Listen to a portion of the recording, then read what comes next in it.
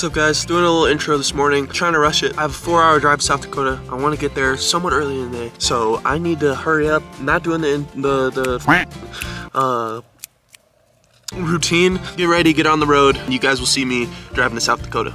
All right, let's go. I'm not even kidding. This made my jaw drop when I got out of the car.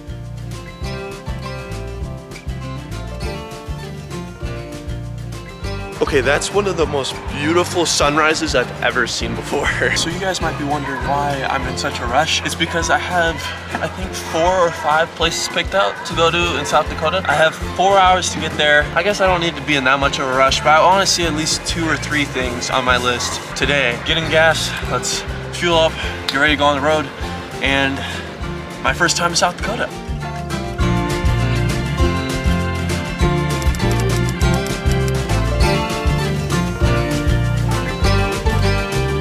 All right, now for the only reason that this drive is like an hour or two longer than what it should be. Now, I'm driving through my 35th state.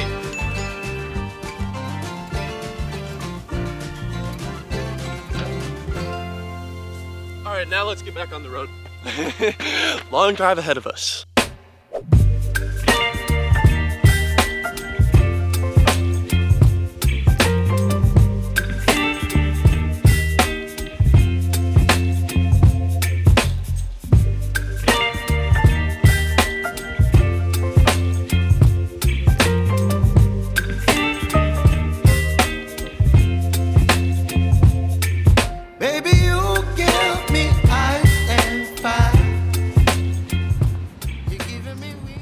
All right, guys.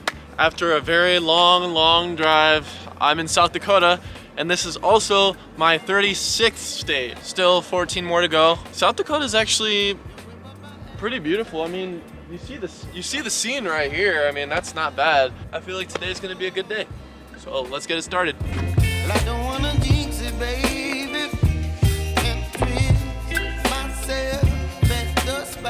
This trail closed because there's an active fire. This is where I am, and it has this closed off. That's where the X's are. That's a bit disappointing. Okay, I just talked to some locals and they said there was a fire yesterday. It uh, simmered down, so they said take it at your own risk, and I'm gonna take it at my own risk. Think it, baby. It's just twist your body and mine. Baby, you One thing that I was not expecting was how hot. Yeah, it's not that hot, but it's 60 degrees. It's not really hoodie and jeans hiking weather. I was not expecting to go this much more north and it'd be like 30 degrees warmer. Weird.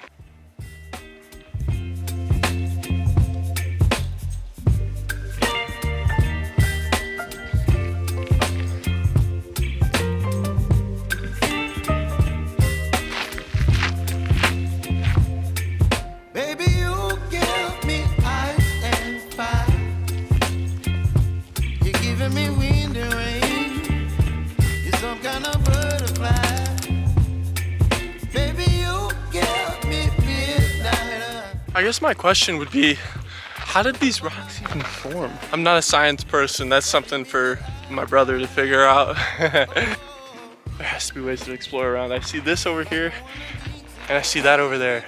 Let's climb some rocks. Let's see if we can. All right, we've gotten to this part.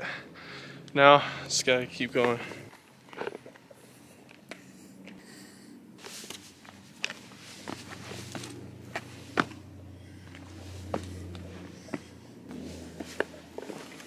There's not much chance of me getting up this thing, so let's head over back toward Cathedral Rock. That's what I just climbed to get up here.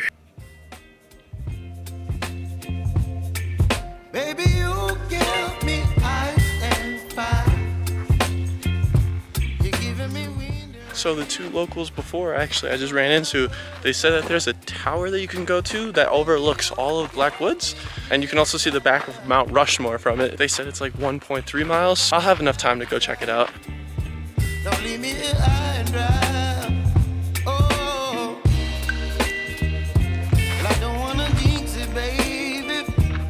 As you guys can see, snow has not melted yet because the rocks, I guess, are shading it. Well, actually, that makes sense. It does feel weird that it goes from like hot and no snow to like a little bit chilly in like a matter of seconds. myself at the spine. Don't wanna overthink it, baby. I've been walking for about 30 minutes, I think, and uh, I just passed by two people. I asked them, is the tower as far as it looks? Because I could see it in the distance, kind of. You guys can see like the rock in between those trees. That's where it is. The trees are covering it. I saw it earlier, but anyways, they said the hike's worth it. It's about a mile and a half more. Should have brought water. I don't know why I didn't. I ran out of water and I didn't think to buy more bottles at the store. So I kind of screwed myself by the time I got out here. They said that you can see the fire from the tower actually. You guys can see it, it's right, right there. I'm gonna push on because I think it's worth it. I only have to do Mount Rushmore. And then later, I'm gonna treat myself to some Olive Garden because I want my pasta.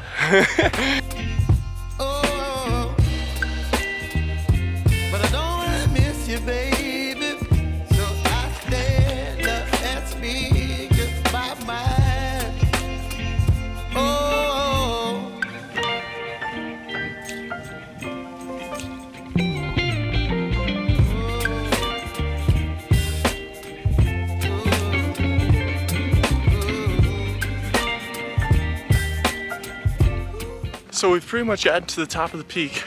And now all that's left to see is the tower. And then a long journey back.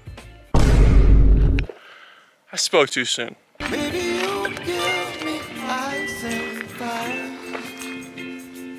chilling rain. You're some kind of butterfly.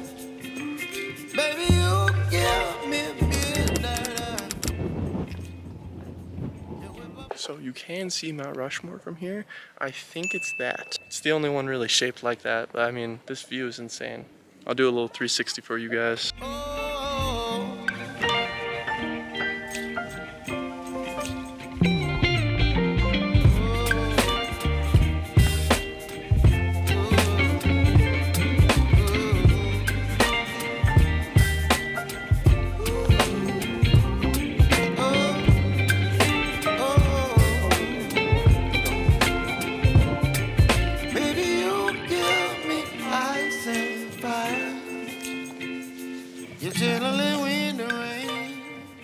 And like I said before, people were saying that you can see the fire from here, and clearly you can. This is kind of scary. That was creepy as shit. What the f? Back into the creepy hallway.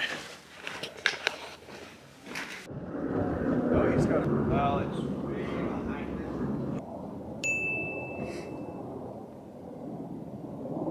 Five gallon bucket. Yeah.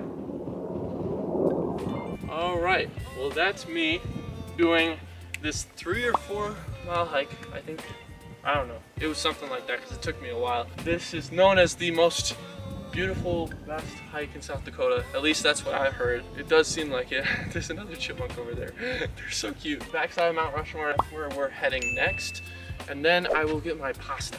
I didn't even know South Dakota had mountains like this. Comment down below if you thought so too. I hope you guys enjoyed this hike. This was absolutely beautiful. These This scenery is insane. Not much else to say, but yeah, let's go.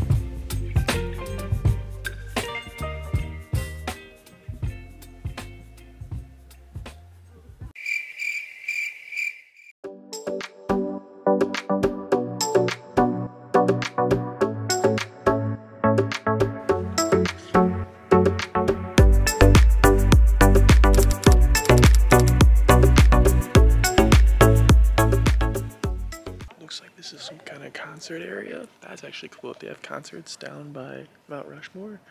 I might need to go to one.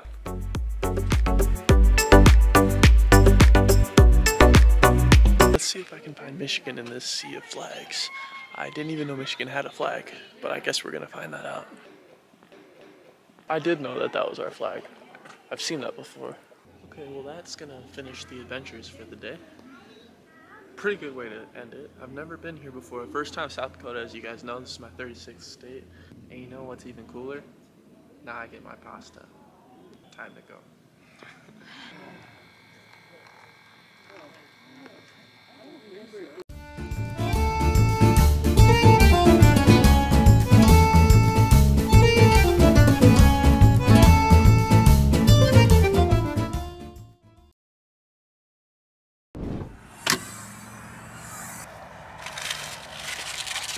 Had to get more water bottles. I had a blast today. I can't believe I actually saw Mount Rushmore in person. That was really cool. Like you see it in the in your school books and the movies and TV shows, and then when you actually see it in person, it's just it feels like a picture. Like it does not feel real. It's insane. All right, guys, that's gonna do it for today. Custer State Park. I was not expecting to go on that hike. It was a very, very long hike, but it was worth it. It was 100% worth it. Uh, one of the locals said that it was actually the highest peak if you go east until Switzerland, which I mean, I guess that makes sense because you only have to deal with what Minnesota, Michigan, Maine, like uh, New York. It's not that not that much, but it was a 7,500 foot elevation, so that's a lot, especially by foot. That's a lot. Anyways, I'm gonna go to bed, wake up early tomorrow, get the day started as usual, and I will see you guys tomorrow.